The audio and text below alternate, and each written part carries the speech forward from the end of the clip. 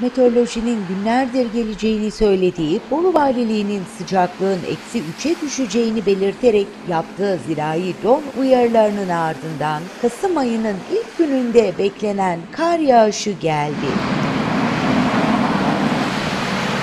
D100 Karayolu Bolu Dağı mevkiindeyiz. 1 Kasım tarihi itibariyle kar Bolu Dağı'nı etkisi altına aldı. Kar birkaç gün önce Yedigöller, Gölcük ve Abant gibi yüksek yerlere yağmıştı ancak ilk kez etkili yağışını işte böyle gösterdi.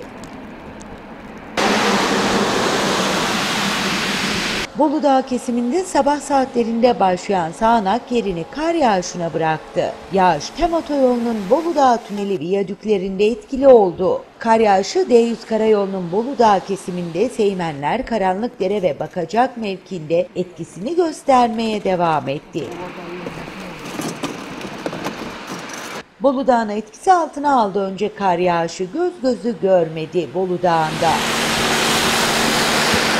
Trafiğin aksamaması ve kazaya sebep olunmaması için karayolları ekipleri de kar yağışına karşı önlemlerini aldı. Ancak burada en büyük görev de sürücülere düşüyor. Sürücülerin dikkatli araç kullanmaları ve yola çıkmadan önce kış lastiklerini araçlarına taktırmaları gerekiyor. Aşırı hız ve yakın takip yapılmaması da dikkat edilmesi gereken önemli hususlardan.